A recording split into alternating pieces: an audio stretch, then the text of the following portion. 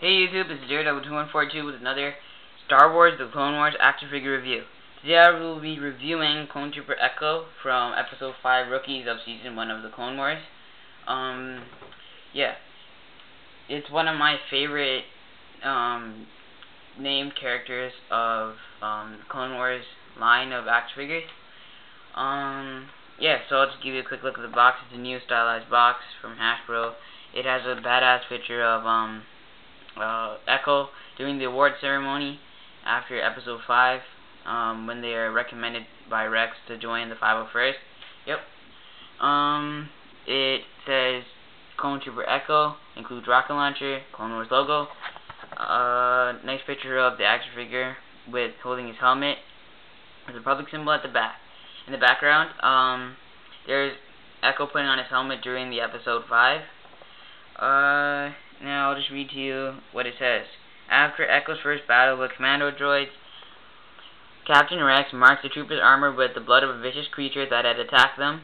The body, bloody handprint, sorry, is Rex's way of recognizing Echo's transition from a shiny to a seasoned warrior.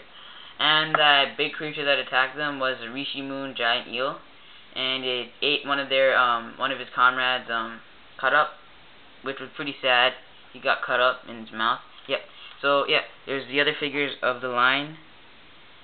Now I have the Commando Droid, which I'll do a review next of, and, yeah, it's pretty cool. That's the box. Now, onto the figure itself.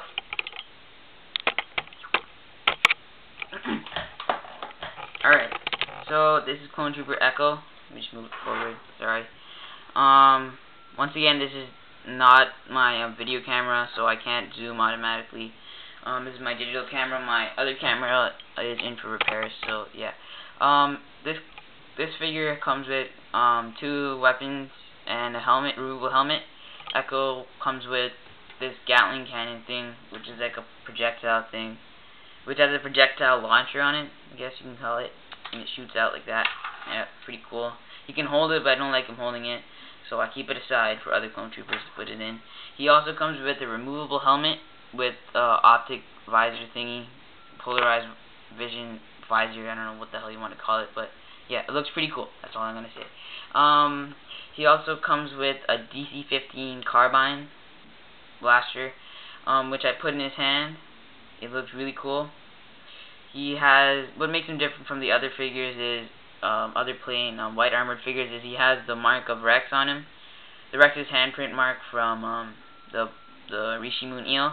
He has a Commander Cody head, but it's hard to really recognize it because it's a different shade of color and um, a lighter shade, and the scar is not painted. Pretty cool. Um, he also has a new kind of hair thing. Um, I can't, I don't know if you can really see it as well, but it's kind of like a grayish, blackish new hair look, I guess.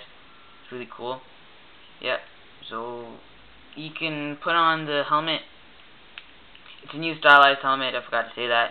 Um, with the uh, more defined breathing, um, breathing, uh, what you call it, hole or um, filter. Uh, fits perfectly on. It's really cool. He can put his visor down. Now on to articulation. He has a ball jointed neck. You can turn all the way around, look up and down. Um, he has ball jointed shoulders, ball jointed shoulders. Um, he has ball jointed um, elbows and ball-jointed um, wrists, which is the new Clone Wars wrists, which are really cool. I like, and I like he has a ball-hinged torso. I can turn all the way around, but I won't. I do it. Um, he has swivel hip, ball-hinged, ball-jointed um, uh, knees, and ball-jointed um, ankles. Sorry wiggling him too much. Uh, so it's a really good figure overall. Um, I like the paint job. It's really good. It's simple, but really cool. Um, I would give this figure, I would actually give this figure a um, 9.5 out of 10. Um, it's really cool. I really like it. And I definitely say pick this up if you see it. Um, they're not out in Canada yet. I got this at in the States. And it'd be a while since they put them out in um, stores in Ontario at least. Um, yeah, so that's about it. Um, thanks for watching, and please rate, comment, and subscribe.